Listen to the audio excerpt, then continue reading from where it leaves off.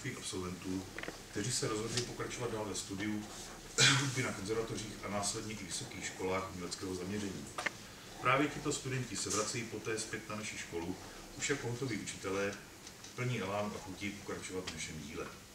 To znamená jedno jediné, že systém základního uměleckého školství, který je v Evropě ojedinělý, nezajímá sami pro sebe v klubu rodinné nebo i na pódiu pro veřejnost.